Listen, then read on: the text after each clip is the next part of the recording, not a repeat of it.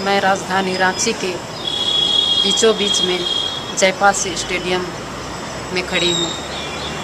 यह पहले रांची की शान कही जाती थी। आज वह एक कूड़ेदान और जंगल बनकर रह गई है। इसकी स्थिति जर्जर होती जा रही है। यहाँ बच्चे अपना प्रैक्टिस नहीं कर पा रहे हैं।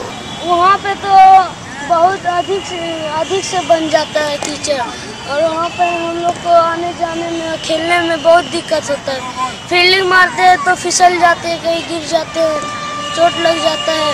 हमेशा हर साल यहाँ पर छः महीना सात महीना तो मेला और या फिर सर्कस वाले को दे दिया जाता है और हमारा प्रैक्टिस हमेशा उस समय ऑफ़ रोड चला जाता है और चारों तरफ़ तो उस साल खाली कंक्रीट के जंगल ही बनते जा रहे हैं। टाउन में बीच सेंटर यही है।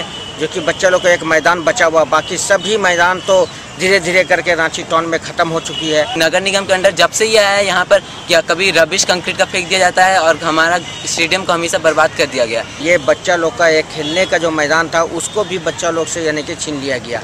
इसलिए हम चाहते हैं कि ये जो ना एक लौता स्टेडियम जो बचा है रांची सेंटर पे उसको अच्छा से बचाया जाए उसका पुनर्निर्माण किया जाए और मॉडर्न स्टेडियम की तरह इसको विकसित किया जाए।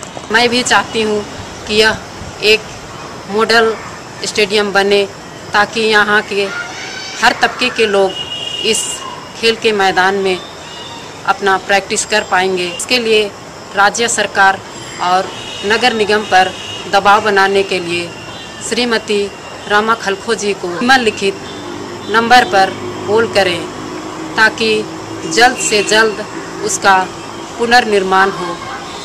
मैं हूँ निर्मला, रांची, झारखंड से। इंडिया अनहर्ट के लिए।